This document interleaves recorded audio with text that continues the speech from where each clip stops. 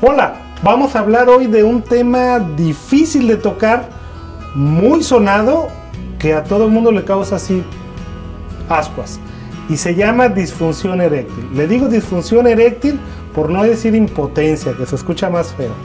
Lo que quiero yo que todos ustedes entiendan es que la disfunción eréctil es un problema tan común que muchas veces tiene una solución no es algo que nosotros debemos tenerle miedo.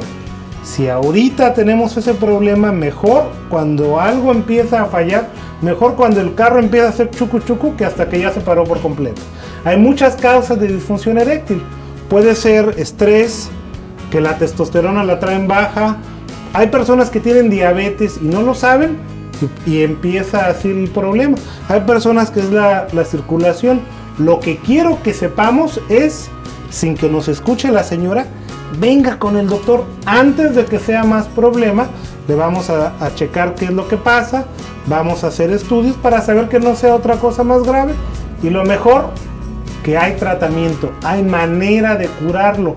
No se quede con el problema. Si el carro ya está haciendo chucu chucu cascabeleando, antes de que se pare, le ponemos gasolina de la buena es lo mejor, venga con nosotros, no se quede así, llámenos, venga, puede tener solución.